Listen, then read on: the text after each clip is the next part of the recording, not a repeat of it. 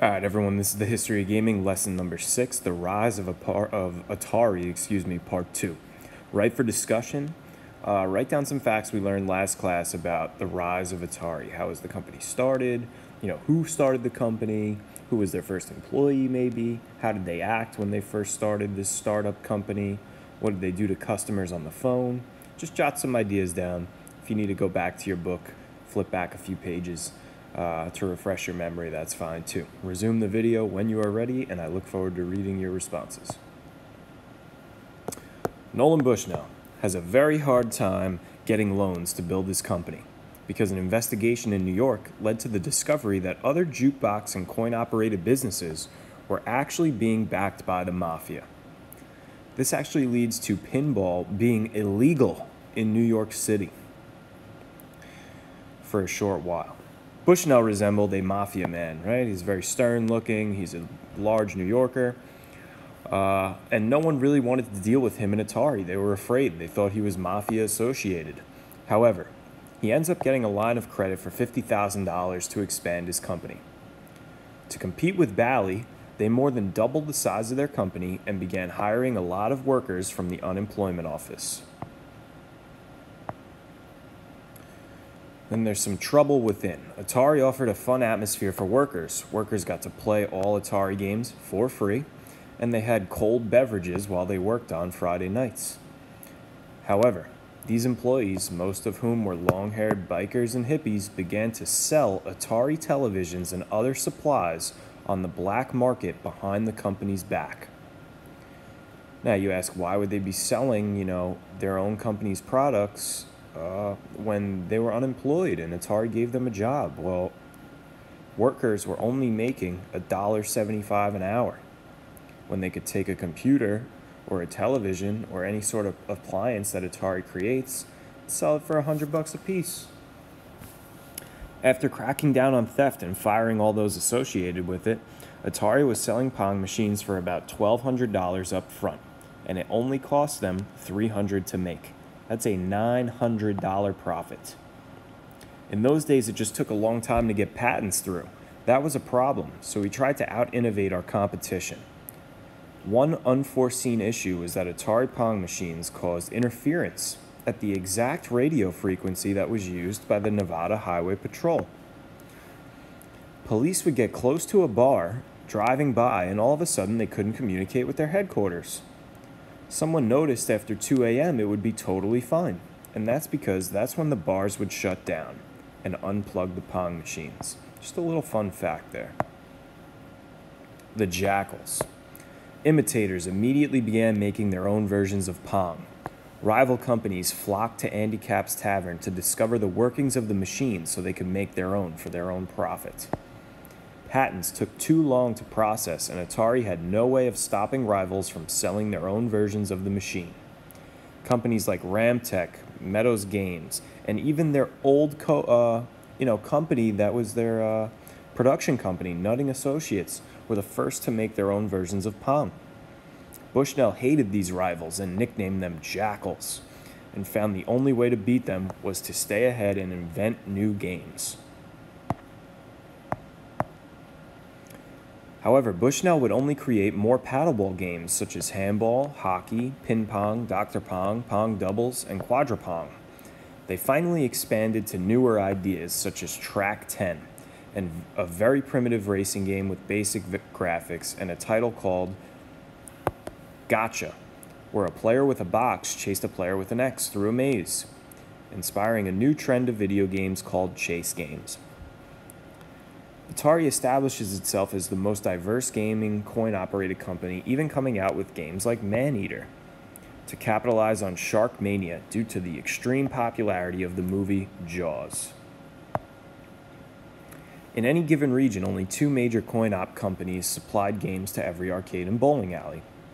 Laws are put in place that said rival companies could not work with the same manufacturers. So if there's two major coin operators in the same area, you have to work with two separate manufacturers.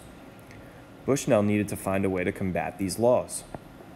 Bushnell's next door neighbor, Joe Keenan, creates Kee Games. It was a rival to Atari, and he even stole three of Atari's top men in their headquarters. Everyone in the industry knew of the Kee Games Atari rivalry as they dominated most regions of the country, and they had different manufacturers. However, it turns out that Bushnell and Dabney were actually on the head of the board for Kee Games, their rival company, and that this was all a scheme for Bushnell to stay ahead of his true competitors. He owned both companies. This was a way for him to lock out his true rivals from the manufacturing companies within each region. Very smart, very sneaky move. Kee Games did create a key hit with the game Tank. Again, a, a, game with primitive graphics. Players controlled either a black or a white tank that consisted of a square with a line sticking out of it to represent a turret. While Kee Games was thriving, Atari was not. Their Grand Track racing game was actually being sold at a deficit, meaning it cost $1,095 to make and they were only selling it for $995.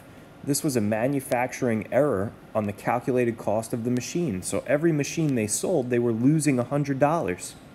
To top it all off, it was Atari's best selling game that year. Kee Games and Atari end up merging together to save both companies as they were running low on funds.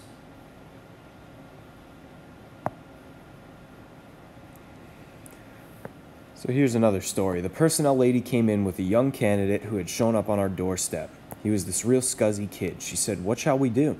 I said, We should either call the cops or talk to him. The kid was a dropout. He was 18 years old and he knew something. He had a spark of brilliance. One of my engineers was looking for a tech, so I gave him a job working for that engineer. The next day, the engineer approaches me and says, What did I do to deserve this? This guy's filthy, obnoxious, and he doesn't know electronics. The kid worked out in the end. His name was Steve Jobs. Jobs became an important part to the Atari company, learning the trade very quickly. However, he had a very poor reputation, something he carried with him for the remainder of his life. He smelled bad, and he treated others like idiots. Jobs was known as a 20 year old Ho Chi Minh around the office because they joked that his facial hair looked very similar. Jobs and Wozniak contributed and aided to the process of Atari's new game, Breakout. Remember, Wozniak was that guy that worked for HP and created the personal computer, and HP didn't want it. Game Breakout. Bushnell creates this concept himself. Breakout was a reiteration of Pong in which players use the ball to knock bricks out of a wall at the top of the screen. I'm sure you've played some version of this game on a computer at some point. Bushnell knew it would be a hit but was wary of the cost. Atari made 10,000 units of their popular games, and Bushnell made Steve Jobs attempt to lessen the number of chips used in each game to save money. It could save the company approximately $100,000 for each chip that he removes from pr uh, production. So here's breakout. The ball bounces up, hits a brick, comes back down to the paddle, bounces up again. I'm sure you've played this at some point. Jobs allows Wozniak to work on the machines for half of the bonus check that Jobs was receiving for completing the task.